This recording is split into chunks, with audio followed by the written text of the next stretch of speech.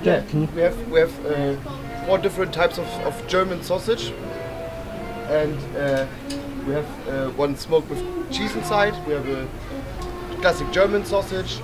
We have it's not a German, it's Polish smoked sausage, and we have uh, chili beef sausage. Sausage, so spicy one. So taste it if you like.